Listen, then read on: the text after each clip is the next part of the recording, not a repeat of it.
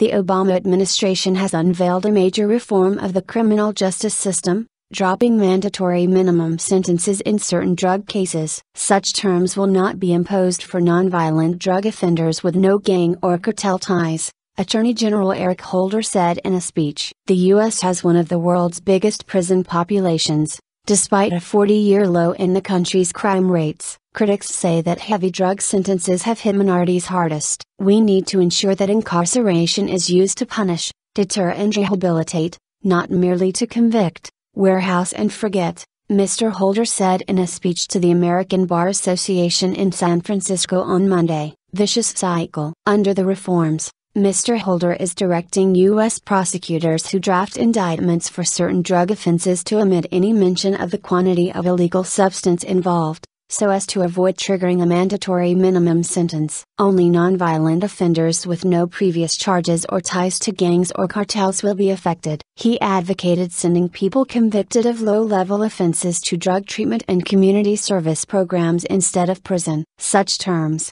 created as part of the U.S. war on drugs in the 1980s, prevent judges from applying discretion when sentencing certain drug offenses. Some 47% of U.S. prison inmates have been incarcerated for drug offenses, according to the Federal Bureau of Prisons. A vicious cycle of poverty, criminality, and incarceration traps too many Americans and weakens too many communities, Mr. Holder said on Monday. However, Many aspects of our criminal justice system may actually exacerbate this problem rather than alleviate it. Mr. Holder also backed efforts by lawmakers to allow judges to use more flexibility with mandatory minimum sentences. Such legislation will ultimately save our country billions of dollars while keeping us safe. Some states, including Texas, have already introduced programs designed to limit incarceration of low level offenders. Some critics of the policy were cautiously optimistic by the change. The Attorney General's remarks represent a good first step toward scaling back the failed war on drugs,